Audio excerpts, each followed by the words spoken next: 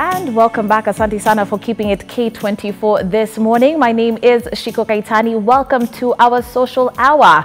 Let's talk a little bit about mental health and in specific suicide. September is Suicide Prevention Month. And so today we are talking about how we can actually go about finding the solutions. Yes, the awareness is out there. What next? And that's what we want to ask you this morning. What are you going to be doing or how can you go ahead uh, and help someone who's actually at the brink of suicide? How would you help someone with suicidal thoughts? Why don't you let us know through our social media platforms at K24 TV on Instagram, Facebook, and Twitter. As you get working on that, allow me to introduce my panelists this morning. I'm very excited to have at the far end Ellie Oenga, who is the founder of the BU program, uh, currently rolling out in a number of institutions. Right at the center, not a stranger to this show, Mr. Ricks, who we also know as Onyango Otieno. I like to call him Double O, who is a mental health advocate. Karibu tena to the show.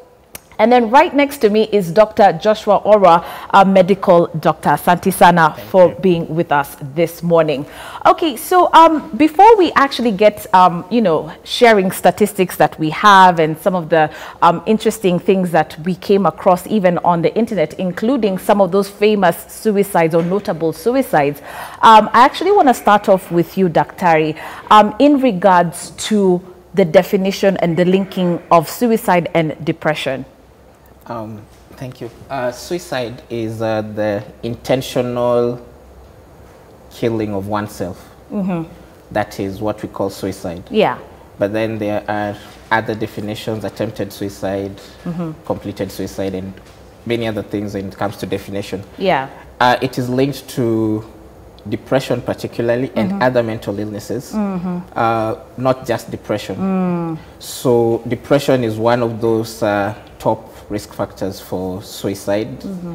and suicide attempts. Yeah. Yeah, so not only depression in the bracket of mental disorders, You're even right. other mental disorders, personality disorders, schizophrenia, and many others. Yeah, but mainly depression at the top of the mental disorders that predispose people to committing or attempting to commit suicide. Yeah. Okay. I'm going to ask my director to cue for us um, a reel that we actually prepared of notable suicides uh, that we're probably all familiar with. And you can actually let me know, uh, Neville, when you're good to go with that.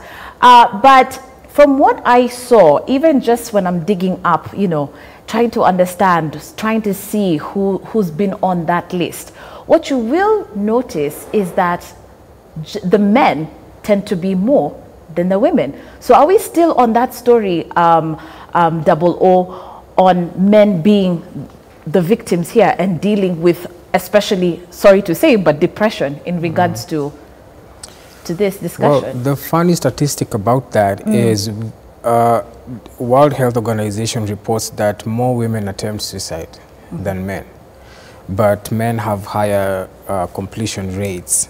Yeah, and so that's what they call this the gender paradox. Like, um, it's it's more men who complete suicide, but it's more women who attempt suicide. Yeah. So we are having the case that you know men are more aggressive with the way they take their lives away, um, and uh, women tend to use softer methods to take away their lives that are easier to intervene. yeah. Um, and so we, they have lower suicide completion rates, but the, the, the rates are pretty much the same. Men are, um, you know, killing themselves more, um, and um, the causes are as many as they come. Yeah, so men tend to, to be more drastic in regards to their approach. Yes. Ellie, this is just heartbreaking, and you've done a lot of work on the ground, even with young people. And I think, I think that's our focus group even today. I, I dare say. Um, what do you think young people are battling with? Because he said it's not just depression; there are other causes that will lead up to suicide. But from your work with young people on the ground, what seems to be the issue, and what are they crying out to us to say or to notice? I think Shiko, thank you for that and thank you for having me on the show. Yeah. Uh, in my opinion, this generation has a mental warfare. You know, in the past we had World War II, we had all these wars. So every generation has a battle. And for this generation, the battle is for the sanctity and the safety of their mental health. And it's good that we are having such shows because we are raising awareness and then we are Yeah. now beginning even to talk about solutions. Therefore, uh, uh, and, and you see now it is more visible. Maybe in the past our grandparents also fought this warfare, Yeah. but it was not visible. We now have more TV channels, we have social media, uh, you know, uh, uh, in our, on our fingertips. So the Yeah. visibility of it also i- i- is quite out there. So we, we now see it more, we hear of it more. Yeah. Personally, in the past two months, I know up to four families in Kenya that have had, um, you know, a family member uh, Yes, commit commit sui- suicide. Yeah. And uh, my heart goes out to all those families Yeah. who've had to have a loved one Okay. exit in Yeah. such a manner. You know, um, uh, Doc, we, when we had a previous discussion with Ellie and a group of panelists, pretty much around the same discussion on mental health, uh, one panelist uh, who's been through it uh, was talking about how in this country, mental health is not regarded as an illness or depression is not an illness. We don't actually look at it as an illness. Uh, what's your take on that? It's, it's actually true that as a country, we probably have put relegated mental health well behind the scenes a Yeah. lot. And even when you're talking about universal health coverage, the things that are highlighted are very rarely will you see anything being highlighted mental health uh, related. Yeah. And part of it is because of our the stigma around mental health issues. So even the patient who has a mental condition, Yeah. Uh, before they actually come to the hospital, they probably are fighting with that decision of how will people view me, how will even the doctor that I'm going to see Yeah. at my hospital Yeah. will see me. So the typical patient who comes, for example, at the Bliss clinics where I work, they will at times it takes they will come with a different story so it takes a bit more of insight from the doctor to investigate and actually mm-hmm. clinch that this person does not have a physical illness. Mm-hmm. What brought them was some psychosocial mm-hmm. or mental uh-huh. stuff that uh-huh. brought them to hospital. So i think the stigma and then the lack of political goodwill Yeah. uh, contributes more to that uh, the way we've treated health uh, mental health in this country Right. Yeah. Right. Um, Double O, in your opinion, um, what seems to be the ways that young people are expressing themselves? We're going to highlight your case in just a minute, and I think yours is quite unique. But what are we seeing on the ground now? A lot of things. Um, when we were young, a lot of many of us grew up in very conservative families. We mm. weren't given space to express ourselves as kids. And then you get to 15, 16, 17, 18, mm. and all of a sudden you have a Facebook account Yeah. or a Twitter account or an mm-hmm. Instagram account where nobody's telling you what to do with it. Yeah. And so you all of a sudden have space which you were never really taught how to use, mm-hmm. and you can basically say anything you want on it. You see? So the fact that a lot of us are looking for those safe spaces that we didn't have when we were children. Um, and coupled with the fact that there's so much social pressure on young people to be correct, and yet we um, we are experiencing a lot of uh, social integration with uh, with uh, the way our social cultures are, are, Yeah. are, have been have been for the longest time. Um, it's it's becoming very difficult for just a young person to exist and Right. say that I I am here and I count. Yeah. Because everywhere they go, their voice is not heard. So I'm going to use any kind of um, expressive outlet I can Right. to tell people this is what I'm trying to say, but you've not been listening. So it's from all over. Okay. It's all over. It's, it's in the clubs, it's, it's in sex, it's in uh, crazy music, it's Yeah. in substance abuse, it's in drugs, it's in all, so- And all, sorts all this things. is young is someone trying to reach out. Yeah. Okay. Uh, we actually want to ask you to weigh in on our discussion this morning. Go ahead and give us a call. Our numbers are at the bottom of your screen, or if you prefer to get in touch with us through our social media platforms, why don't you? Uh, let us know how you would actually go about helping that individual overcome, um, you know, these attempts attempts and even how do we go about actually bringing those numbers down? We'd love to hear from you this morning. Even as we get back to um, our discussion, I'm going to ask my director to actually play a reel of some of the notable suicides that we have seen over the past couple of years. Um, and even as those images continue to just show up, you know, we've got so many um, from Alexander McQueen um, to the likes of Marilyn Monroe, Anthony Bourdain, who was actually a TV personality. All these individuals, um, you know, killed themselves. Um, someone like Avicii, a, a, lot of young people were so heartbroken to see that DJ kill himself. One thing that did stand out for me, Ellie, is that as much as, yes, there are all these famous people who've taken their own lives, there were quite a number of notable students who are actually listed in some of these mm -hmm. reports. Mm -hmm. Who killed themselves because of cyberbullying. Yep. It's a thing. Yes, yes. It's a thing. Mm -hmm. So, why don't you give us your thoughts on that, on how social media has such a huge impact on, on all of this, on mental health? Uh, first of all, before I comment on that, if mm. you look at the real running and all those famous people, yeah. what is also important to note, how many more will have been on that list mm -hmm. who are not on that list? Mm. Uh, J.K. Rowling, yeah. by the age of 29, she attempted suicide. Wow. At the age of 17, she was rejected from college. -hmm. At the age of 24, she had a miscarriage. Yeah. At the age of 25, she was divorced. At the age of 30, she attempted suicide. But by the age of 47, she sold 10 million copies yeah. after releasing the book. Yes, of Harry Potter. Uh, Harry Potter. Mm -hmm. Uh, Abraham Lincoln yeah. failed and failed and failed, mm -hmm. attempted suicide, yeah.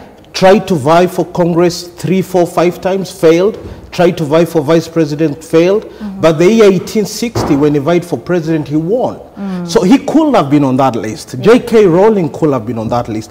I could have been on that list. Yeah. Ricks could have been on that list. So almost all of us face a challenge in life where we come to a point mm -hmm. that how do we how do I handle this? Yeah. And it's the solution and the support system that makes the difference mm -hmm. between who gets on that list and yeah. who doesn't. Mm. So some of us are here, or Rix is here, or you were here mm -hmm. because someone intervened in the right way at the right time yeah. without making you feel like a victim. Mm. So going back to social media, like yeah. Rix is saying here, mm. there is so much pressure to conform yeah. and be what we are not. And that's why the BU campaign, uh, is, campaign is, running. Yeah. Uh, it, it was founded after talking to so many young people. Mm -hmm. And you find that there is pressure at home yeah. because the father is an engineer. The pressure starts at home. Right. And the solution will mm. have to mm. start at home, mm -hmm. not in the government, not with a doctor. -hmm. The, where the problem starts is where the solution also will start. Right. So you find the pressures build up. Yeah. At home, you are socialized mm -hmm. to be a certain way. Yeah. Because your mom and dad and your cousins are a certain way. Yeah. You get out to society, social media mm -hmm. is also pushing you to conform to be a certain way. Right. You go to college, your peers, yeah. they are a certain way, so they're also trying to mold you yeah. to fit a certain way. So FOMO is a real thing. It is a we real keep thing. talking about FOMO like a joke, but yes. fear of missing out yes. is a serious thing. Yes. So there is an agenda out there, mm -hmm. and, and it's not a formal agenda. So very few get to know it. Yeah. To make you a certain way. Mm -hmm. And unfortunately, we are created to be us. Only me can be me. Yeah. So anytime I attempt mm -hmm. to go outside who I am, yeah. then those cracks start appearing. Wow. So uh, the sooner we realize that being you and yeah. accepting you as you are, mm -hmm. with your strengths and with your weaknesses, with your cracks and yeah. with your acne, mm-hmm. with your you know, mm -hmm. shape and your yeah. weight, yeah. the sooner we start easing off mm -hmm. these pressures, okay. and then we are comfortable in our own skin. Nice. Yeah. Uh, Doc, when you actually go about diagnosing um, a patient, if I can call them that, um, what do you actually look out for? Because I think for a lot of people, uh, mental health is a very abstract thing. Yeah. It's it's not a symptom like the way I can cut my hand or I've got something, you know, a growth or something like that that you can actually see. So when you talk about diagnosing someone, what are you really looking out for to either decide, okay, this person is depressed or this person is schizophrenic? I don't know. How do you go about it? Yeah. So usually when you're diagnosing the patient, Yeah. uh, many times, first of all, I will say that they will come with something else and not really the mental issue. Mm. And so at times the diagnosis actually takes time before you actually clinch that the problem is more mental than physical. Mm-hmm. It may take several hospital visits. Oh. And actually it's said that most Yeah. people who commit suicides, mm-hmm. many of them had visited hospital before they actually did that. Right. And so when you're diagnosing, you get the history, mm-hmm. and there's some things that will probably point you to someone who has red flags. Yes. So people who probably have attempted suicide before Yeah. are more likely to want to do it again. People who have Yeah. had a history of mental disorders, Yeah. or even if from their story, like if it's depression, somebody who's had depressed mood for Yeah. most days of the week in at least two two weeks, Mm-hmm. then that person probably qualifies to be looked at Yes. as someone suffering from depression. Right. And so the diagnostic workup is mainly based on the story the patient tells you, Mm-hmm. listening to the patient. Because when it mm-hmm. comes to mental health, there are actually very few tests you can do. Right. It's listening to the story of the patient. Right. And when you listen, then you can pick those things that will, at the end of the day, mm-hmm. tell you that this person has depression, this Yeah. person is a high risk, mm-hmm. a suicide uh, attempt person.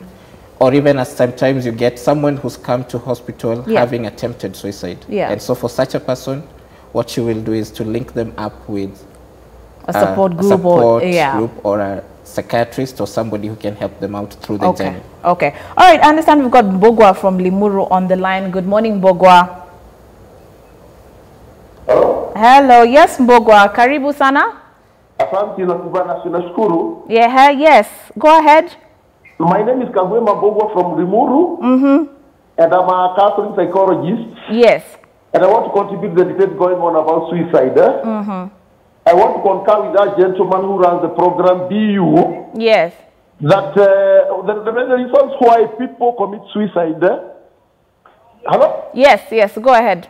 Why people commit suicide is that they do not accept themselves. They are forced to be who they, they are not. Eh? Like uh, the, the way forward is that people should be taught life skills, life skills about understanding themselves. Eh? That you understand who you are, you exploit your inner potential. Yeah.